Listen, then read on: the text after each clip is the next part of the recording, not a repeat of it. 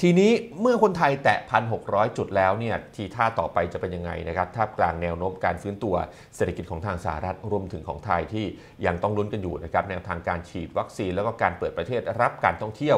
วันนี้เราจะพูดคุยกับคุณพิชัยเลิศสุพงกิจ ผู้ช่วยกรรมการผู้จัดการฝ่ายการตลาดบลธนาชาติครับ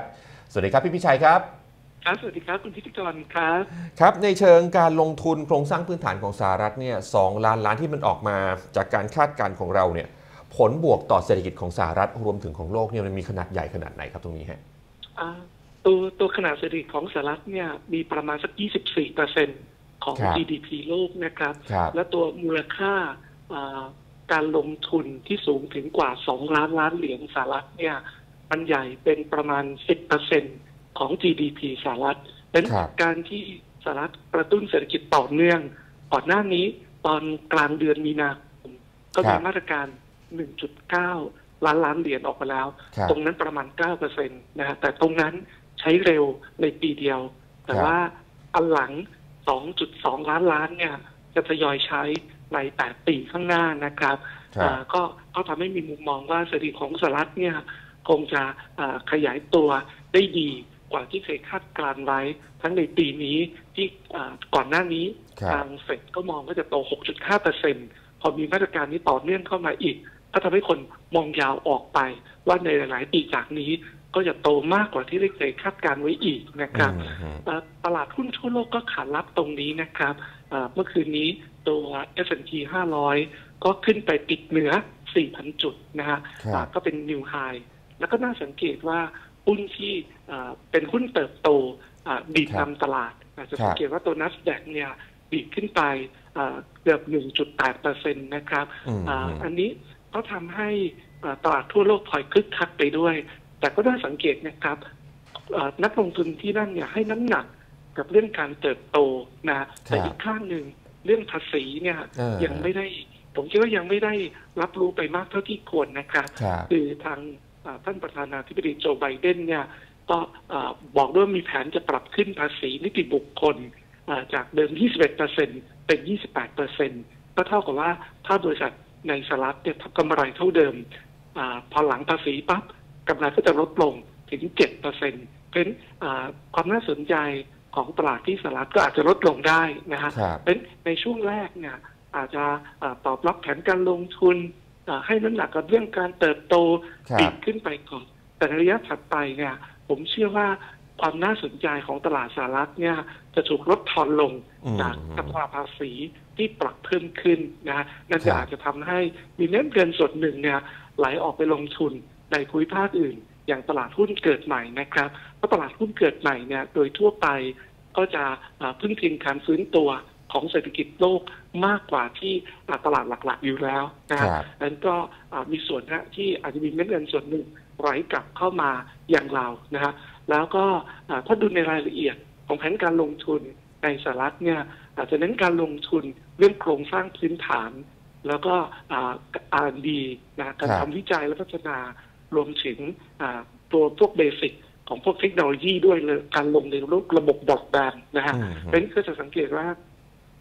หุ้นตั้งแต่เบสิกเลยนะครับก็คือพวกที่เกี่ยวข้องกับสินค้าพวกพันก็ขยับขึ้นพวกที่เกี่ยวข้องกับกำลังซื้อในภาพรวมก็ขยับขึ้นอาจจะเอาภาพรวมๆก็คือว่าตลาดหุ้นให้น้ำหนัก กับเรื่องการเติบโตนะอ่าเพราะฉะนั้นอ่ากลับมาที่เราเนี่ยอ่าถ้าสหรัฐกระตุ้นเศรษฐกิจมากขนาดนั้น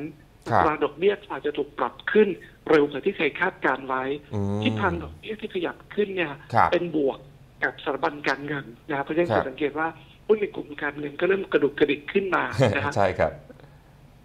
ครับ อืม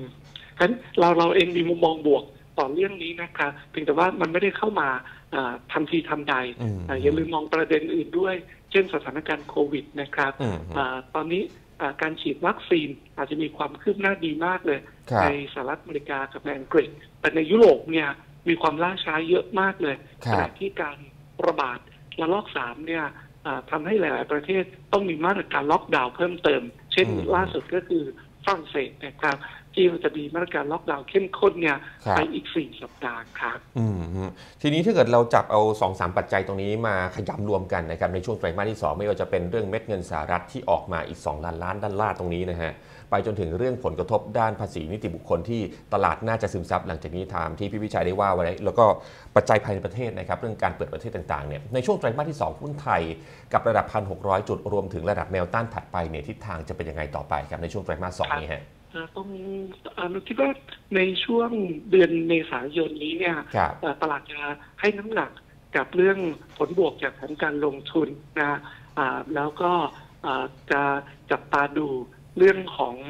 อาตัวผลประกอบการไตรมาสสองอ่าครับอ่าไตรมาสหนึ่งจะทยอยออกหลังวันที่ 21 เมษายนแล้วคนก็จะบองยาวไปช่วงที่เหลือของปีนะฮะครับอ่าผมคิดว่าตลาดเนี่ยมีโอกาสจะแกว่งทะลุแนวต้านจิตวิทยาที่บริเวณพันหกร้อยจุด อย่างไรก็ดีเนี่ยสำหรับรอบเนี่ยเราไม่ได้เพิ่งเริ่มขึ้นนะครับ เรามีมุมมองบวกต่อการฟื้นตัวของเศรษฐกิจต่อการเปิดประเทศเนี่ยหุ้นที่เกี่ยวข้องข ยับนำขึ้นมาพอสมควรแล้วและครับการจะไปต่อจากจุดนี้เนี่ยจะติดตรงแนวต้านใหญ่ๆ โดยเฉพาะอย่างยิ่งบริเวณเป็นพันหกร้อยสี่สิบจุดนะฮะเออเป็นถ้าขึ้นมาเร็วๆ ถึงบริเวณดังกล่าวในเดือนเมษายนเลยเนี่ยอาจจะเป็นจังหวะที่แบ่งขายบางส่วนนะครับอืมอาตอนนี้เราเราคิดว่าภาพรวมอาจจะมีอัพไซด์ไม่เยอะ คนจะหันไปเน้นเรื่องของหุ้นรายตัวนะครัฮะบโดยที่จับตาดูตัวผลประกอบการ ที่กำลังจะทยอยออกมา แล้วก็แนวโน้มต่อไปข้างหน้าครับอืมครับ ทีนี้ผลประกอบการในส่วนของกลุ่มแบงก์บ้างครับ ที่ใกล้จะประกาศเนี่ยเราคาดการณ์ประเมินไว้ยังไงบ้างครับ ครับเอ่อจริงๆ เรื่องการแก้ไขปัญหา NPL เนี่ยเอ่อก็ยังไปเรื่อยๆนะครับเอ่อแต่ที่ดีก็คือสถาบันการเงินแบงก์ใหญ่หลาย ๆ แห่งเนี่ยเอ่อส่งสัญญาณลดการตั้งสำรองนะครับเพราะฉะนั้น ถึงแม้ว่าสินเชื่อจะอืดมากเลย เนื่องจากเศรษฐกิจไทยค่อนข้างฟื้นตัวช้าในครับช่วงที่ผ่านมานะครับ แล้วก็เอ่อจะผลกระทบของการระบาดซ้ำตั้งแต่ปลายเดือนเอ่อธันวาคมที่ผ่านมาทำให้เอ่อกิจกรรมเศรษฐกิจภายในประเทศเนี่ยเอ่อเรียกว่าแผ่วลงไปจากตอนช่วงก่อนหน้านะครับครับเพราะฉะนั้นในแง่ของรายได้สุทธิอ่าจากดอกเบี้ยคงไม่ตื่นเต้นนะฮะแต่ว่าการการสำรอง เผื่อหนี้สงสัยจะสูงที่จะลดลง แล้วก็ผลขาดทุนอ่าที่เผื่อไว้ด้านเครดิต ที่อาจจะไม่ได้ตั้งเอ่อมากเหมือนกับของปีที่แล้ว ก็จะทำให้ผลประกอบการของกลุ่มธนาคารพาณิชย์เนี่ยเริ่มกลับมาขยายตัวอีกครั้งหนึ่งได้ครับ แต่ก็เป็นการขยายตัวที่ที่ไม่ได้ตื่นเต้นอะไรนะฮะครับอ่าสำหรับไตรมาสหนึ่งคงจะต้องผ่านปีนี้ไปก่อนอืมนะระดับการการสำรองถึงจะค่อยๆ ลดลงอย่างมีนัยสำคัญ ทั้งนี้ทั้งนั้นก็ขึ้นอยู่กับอ่าการฟื้นตัวของครับเศรษฐกิจด้วยนะครับ ถ้าฟื้นไม่ถึงสามเปอร์เซ็นต์นี่ก็คงไปเรื่อยอืมๆแต่ถ้ามีตัวกระตุ้นใหม่ ๆ ที่ครับทำให้ไปถึงเป้าหมายสี่เปอร์เซ็นอย่างที่อ่าฝ่ายฝ่ายรัฐอ่าครับรัฐบาลมีความตั้งเป้าไว้เนี่ยเอ่อก็เป็นไปได้ฮะอ่าเพราะว่าพอร์ตสินเชื่อของสถาบันสถาบันการเงินเนี่ยก็คือพอร์ตเศรษฐกิจประเทศไทย เป็นถ้ามีมุมมองว่าเศรษฐกิจไทย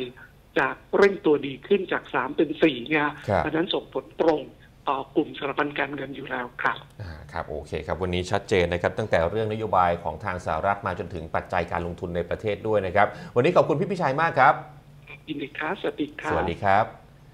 นั่นแหละครับก็เป็นมุมมองการลงทุนในช่วงไตรมาสที่2นะครับรับกับเรื่องของมาตรการกระตุ้นเศรษฐกิจของทางสหรัฐที่ออกมา 2 ล้านล้านดอลลาร์นะฮะขนาดใหญ่มากๆ แล้วก็ต้องมาลุ้นเรื่องแนวทางการลงทุนภาครัฐ ของเราด้วยนะฮะว่าจะสามารถผลักดันให้ GDP โตจาก 3 ไป 4%ได้อย่างไรกันบ้างนะครับ